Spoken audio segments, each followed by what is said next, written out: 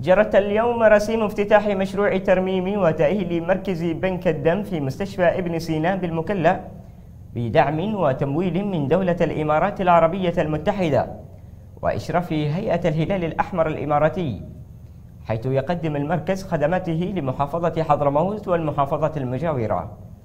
تفاصيل أكثر في سياق التقرير التالي. افتتاح بعد إعادة تأهيل وترميم.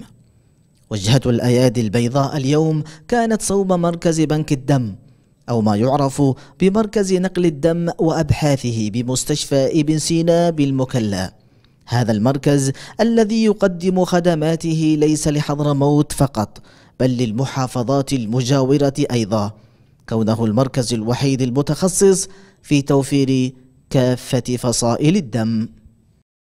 اليوم تم افتتاح مركز بنك الدم في مستشفى ابن سينا. طبعا هذا المركز وهذا الصرح الكبير آه، يخدم كل شرائح المجتمع اليمني. ليس بس في محافظة آه، حضرموت ولكن يتعدى هذا إلى المهرة وإلى باقي المحافظات المجاورة.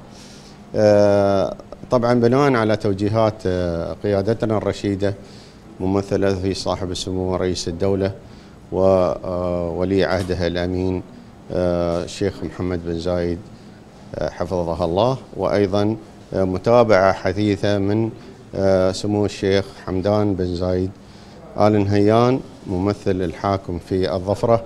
رئيس هيئة الهلال الأحمر. تم توجيهنا كفريق العمل لصيانة وترميم عدة مستشفيات. آه تم اليوم تدشين العمل آه بالمركز الوطني لنقل الدم وابحاثه المسمى ببنك الدم.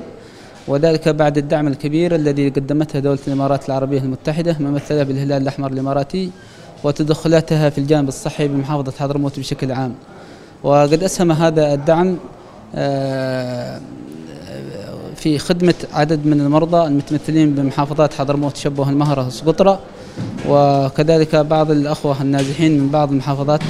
مشروع إعادة تأهيل وترميم مركز بنك الدم كان على مرحلتين. الأولى إعادة ترميم البنية التحتية للمركز بينما اشتملت المرحلة الثانية على توفير أجهزة ومعدات طبية حديثة مع توفير قطع غيار للأجهزة الخارجة عن العمل. أسهم هذا الدعم بحيث أنه يعني أدى إلى طفرة نوعية